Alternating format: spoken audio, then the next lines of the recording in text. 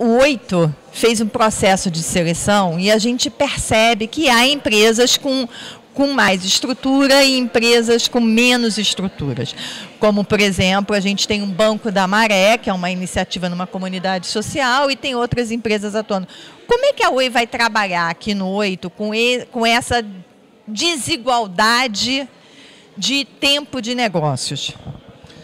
Para ser sincero, nós procuramos trazer essa desigualdade para dentro do 8 porque essa desigualdade é que vai criar valor às empresas. Imagina o que é o exemplo que deu do Banco da Maré, ter alguém ao lado que já passou por muitas das dificuldades dele e que já passou para o estágio seguinte. Isso vai trazer um valor acrescentado, uma economia de etapas significativa. E é isso que o 8 quer trazer. Essa empresa que já está mais avançada, o que é que lhe podemos dar?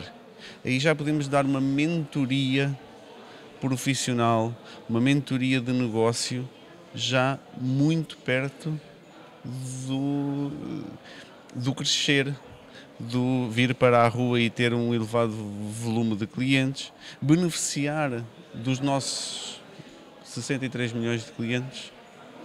Esses estágios vão acrescentar valor a este espaço, que é isso que também queremos trazer com as empresas que estão, vão, vêm para o co-work Normalmente as empresas do cowork são empresas mais avançadas, mas também o que é que querem trazer, o que é que vai agregar para essas empresas? Vai agregar um espaço bem localizado, um espaço que não existe similar no Rio de Janeiro, benefício de mentoria de executivos da Oi, benefício dos nossos, como disse, 63 milhões de clientes, mas dos nossos 140 mil funcionários, de todos os parceiros e fornecedores que temos, e também dos, do, dos parceiros com os benefícios que eles vão dar uh, às empresas que estejam uh, no co-work da, da própria Oi. O 8 foi a maneira que a Oi encontrou de investir em inovação e sair daquela questão do ciclo de, da inovação estar tá dentro da empresa efetivamente e acabar virando mais custo do que uma aposta?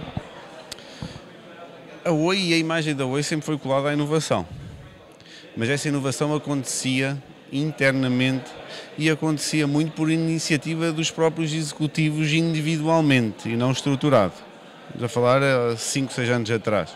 Ao longo do tempo e com o sucesso de algumas iniciativas, conseguimos estruturar uma área de inovação, conseguimos ir para o mercado procurar algumas soluções, mas sempre pontualmente e não estava dentro da agenda recorrente da companhia este espaço vai nos permitir isso. Vai nos permitir uh, trazer a inovação para dentro da companhia, vai nos permitir trazer a companhia para dentro do 8.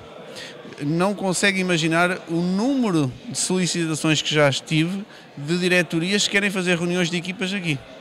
Ainda nem começou a funcionar, mas é isso que nós queríamos. Porquê? Porque vai estreitar os laços entre a inovação, entre este mundo de empreendedorismo este mundo de startups e a companhia, uma grande companhia, uma, uma companhia estabelecida e que, portanto, a inovação não corre nas veias como corre nestas empresas. E é isso que nós queremos trazer com o 8, com esta estruturação. Por que, que o nível de investimento em inovação é tão baixo aqui no Brasil? Não sei se é tão baixo ou se as empresas reportam que é tão baixo. Porque também há, um, há uma questão de como reportar o número. Não é? As empresas acho que eh, reportam um número só uh, dos investimentos que fazem diretamente a inovação. Mas o tempo que os executivos pensam em, em projetos, o tempo, por exemplo, que a minha equipa passa a pesquisar empresas de inovação no Brasil que possam acrescentar algum valor a nós ou aos nossos clientes. Isso é investimento em inovação ou não? É investimento em inovação, mas não estão nos números de inovação. Também temos que ter cuidado um pouco com essa visibilidade. Podemos investir muito mais. Não estamos num patamar do, de Estados Unidos ou de uma Europa ainda.